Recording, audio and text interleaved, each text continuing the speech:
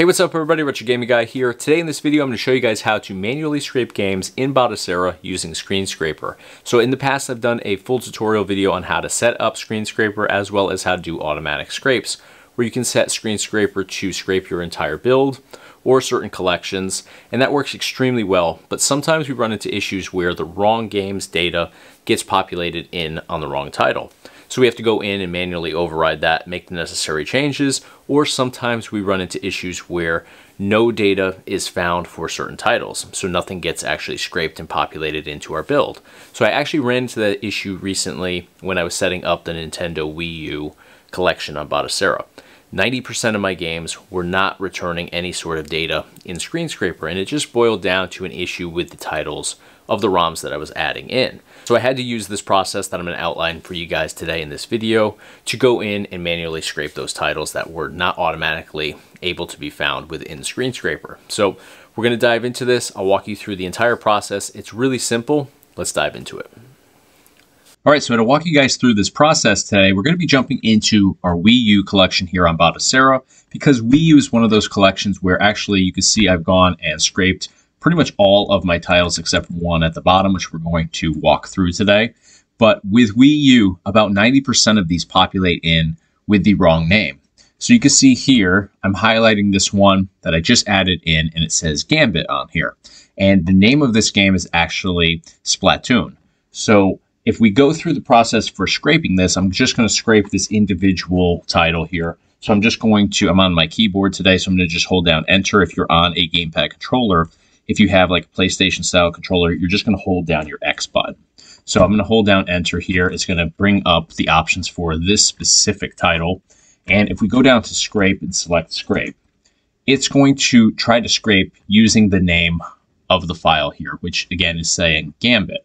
So we get a bunch of options here. There's actually a gambit right down here, but that's nothing to do with this particular title, which again is Splatoon. So what we need to do is, since none of these are going to populate incorrectly for us, we're going to drop down to input down here. And I'm going to hit enter on here to select input.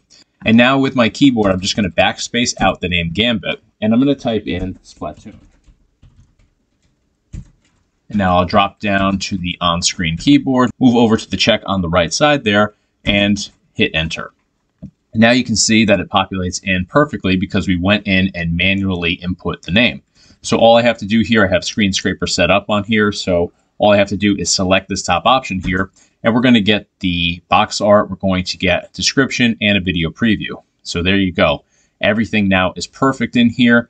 Didn't even have to update the games list or anything. It populated right in. And that's how I've done, again, 90% of these Wii U games because for some reason it just has that quirky sort of um, renaming of the uh, titles in here. So I had to do that for, I think, only two of these actually populated incorrectly.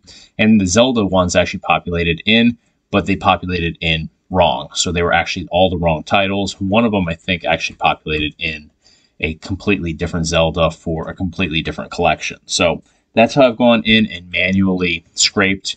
And you can do this for all different collections, not just Wii U. If you're running into an issue where for some reason you're not able to scrape, go down and do a manual input like this and type in exactly what the title is, and you're likely going to find it and be able to fully scrape it and get your video previews, descriptions, all that good stuff for Batocera. All right, guys, you can see firsthand, pretty simple process here to manually scrape your games for Batocera using Screen Scraper. So if you guys have any questions or anything like that, feel free to hit me up in the comments section below. Always happy to help you guys out any way I possibly can.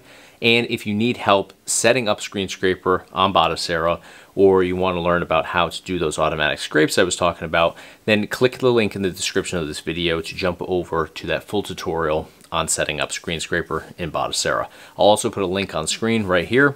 You can just jump up to the top of this video screen here and click the direct link. So that's going to do it for today. If you guys enjoyed this video and you found it helpful, go ahead and smash the thumbs up button on the video. It's a huge help to me here on YouTube. And of course, hit the subscribe button to stay in the loop for all future videos here on the Retro Gaming Guy YouTube channel. That's going to do it for today. Thanks for the support. I'll see you in the next video.